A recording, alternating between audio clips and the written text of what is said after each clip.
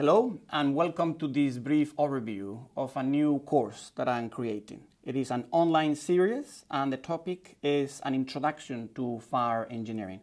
My name is Guillermo Rein. I am professor of fire science at Imperial College. Fire is a hazard, has been for thousands of years and remains being a hazard in our homes and in our offices, in our industries. And the question is what have we done and what can we do to protect ourselves, our properties, and the environment from this hazard. When we look into historical evidence over the last hundred years, which is when the best data exists about fire incidents, we consistently see in the United States and in the UK that there is a decrease in the fire fatalities, which tells a successful story of fire safety and fire engineering. The question is, why is this success taking place?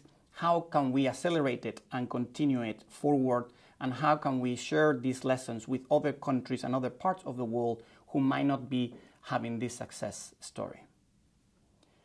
This course is made of four lectures. In the first lecture, I'll be talking about fire engineering. What is fire engineering? This is the discipline that makes sure that we have buildings, homes, and offices that remain safe from fire. And this is despite the fact that we are building them, we are building our environments differently thanks to architectural innovation. Our homes are better, more beautiful, more comfortable, more affordable. The question is how do we attain the same level of safety or even lower it through the use of fire engineering?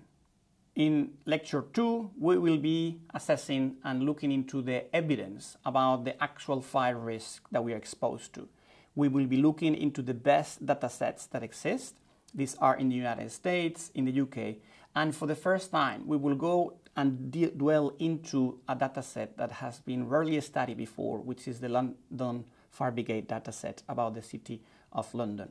We will see and we'll share with you some of the findings that we have about the relatively good level of safety that exists in the city of London, and we will analyze the reasons for this.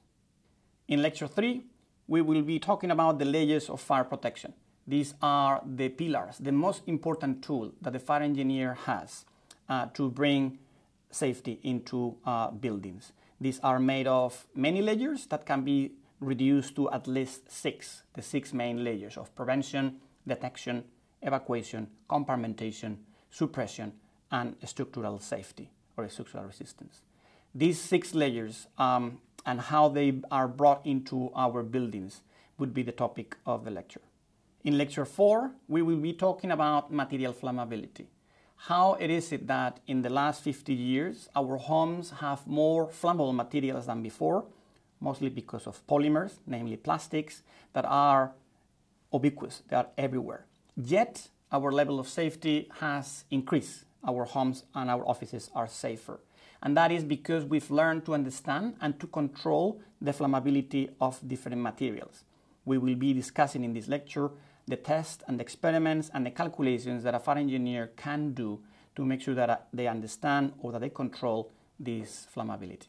Over the course of these four lectures, I hope to answer your most pressing questions about fire safety and fire engineering and to teach you what we have uh, been learning over the many years in this field.